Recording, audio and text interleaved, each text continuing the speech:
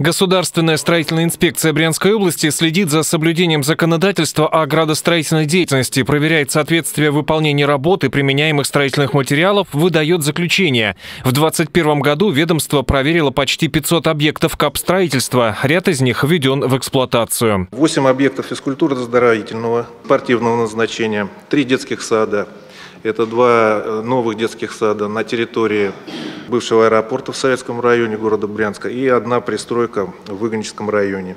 Школа в поселке городского типа Навля.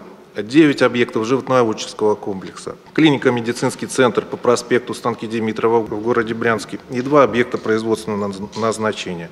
Губернатор Брянской области Александр Богомаз отметил, что в этом году у Государственной строительной инспекции работы меньше не станет, как не станет ее меньше и у глав муниципальных районов.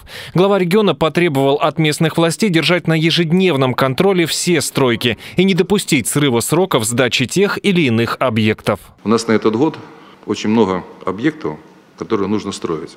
Это и дороги, объекты спорта, наши образовательные учреждения, медицинских учреждений. Сейчас на Думе мы там еще распределим 4 миллиарда рублей. Но я почему к вам обращаюсь? Именно финансы мы сегодня на это имеем, но нужно начинать работать. Уже было даже вчера, не сегодня. Вот я хочу к вам обратиться, чтобы вы все, что будет делаться в вашем районе, вы могли сказать мне в любое время дня и ночи. Не так, как я когда вас спрашиваю, вот некоторых, а что у вас делается? Я пойду узнаю. Сейчас вам неделя срока. Все, что у вас делается, вы должны знать, какие объекты будут делаться. Это или капремонт школы. У нас там большая идет объем, это капремонт школ. Просто он огромный вот, на территории Брянской области. Но если вы в это не вникнете сами, если не возьмете на каждодневный контроль стороны каждого из вас, то мы к концу года придем к тому, что деньги будут, а объекты будут не построены. Мы в прошлом году, можно сказать, неплохо отработали, хотя год был очень сложный. Тот год был, он очень тяжелый. Почему? Потому что менялись цены, менялись стоимость материалов, вот все это росло, и в принципе по стране это были проблемы. У нас более-менее мы прошли, и в принципе все объекты были построены и без пересчета смет. Вот. На этот год понятно, что уже сметы по-новому делались, с новыми расценками. Александр Богомаз подчеркнул, что именно от расторопности и ответственности глав районных администраций зависит то, насколько успешно будут реализованы планы на этот год.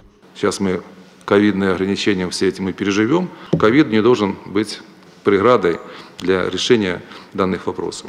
Но и сегодня очень большой ложится на вас объем работ и большая ответственность, чтобы эту работу нам сделать. Как я говорю, деньги мы нашли, федеральные деньги, региональные деньги, вот, за счет того, что получили дополнительные деньги по прошлому году. Деньги мы вам даем, но эти деньги должны сработать. И все объекты, то, что мы запланировали, и как касается тех же школ, то, что за федеральные деньги, что за областные деньги, все должны быть сделаны. Там касается ФАПов, касается больниц, закупка того же оборудования, они должны быть решены. Спортивные объекты, вот, культурные объекты, вот, те же детские сады, где мы планируем, Злынка, да. Вот. Но если мы планируем, то это сейчас нам нужно заниматься, Мичуринский. И объектов то много, тот же мост на, в Сураже. Вот. То, что касается здесь наших, это понятно, аэропорт это наш, а это это все ваше. Так что давайте за работу, друзья. Губернатор предупредил районной власти, что отчет о проделанной работе он ждет от них еженедельно. Александр Новиков, Алексей Рязанцев, Анатолий Чекрыгин. События. Брянск.